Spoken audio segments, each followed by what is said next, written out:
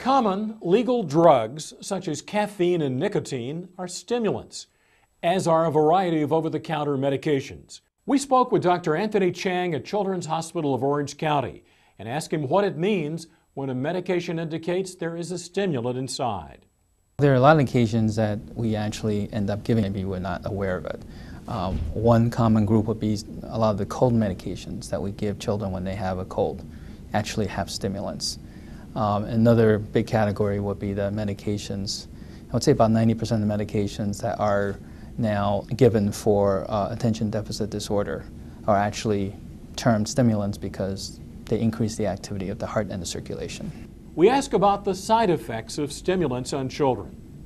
Some of the um, medications that are prescribed for attention deficit disorder um, are known to increase uh, heart rate, are known to increase blood pressure, although uh, not in a even moderate uh, degree, but to, to a small degree, and can potentially uh, increase the likelihood of certain children with risk factors to have arrhythmias or abnormal heartbeats. We wanted to know about screening or exams that can track the impact of stimulants. So it will be a family history for any history of sudden death or, uh, in the family or any heart muscle problem or congenital heart disease. The second aspect of this will be a physical examination and paying attention particularly to the heart part examination, obviously, for any heart murmurs or abnormal rhythm. And then I think the third and reasonable screening process should include an electrocardiogram.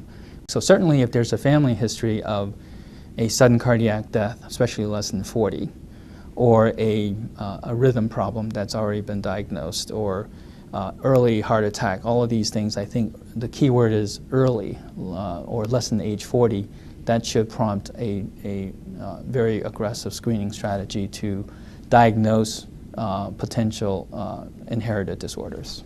So actually, I've had plenty of families with one member diagnosed by a screening electrocardiogram for a disease, and all of a sudden, now we're realizing that several other members in the family also have some acquired or congenital heart disease.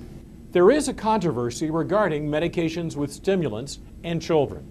The controversy regarding the medication is that whether or not it leads to an increased incidence of sudden cardiac death in population that have a normal heart, and also whether or not it leads to increased incidence of sudden death in children and young adults that may have undiagnosed heart conditions because not everyone has had a screening electrocardiogram. At what age should an adolescent get an electrocardiogram? It's going to be between 14 and 18. So that happens to be the time that um, the adolescents tend to be more athletically involved or active. And um, so the underlying conditions for uh, some of the sudden cardiac death will surface, uh, particularly in that time. So I would recommend, um, ideally, you know, before age 15, but certainly between ages of 15 and 18, to have a, uh, an electrocardiogram.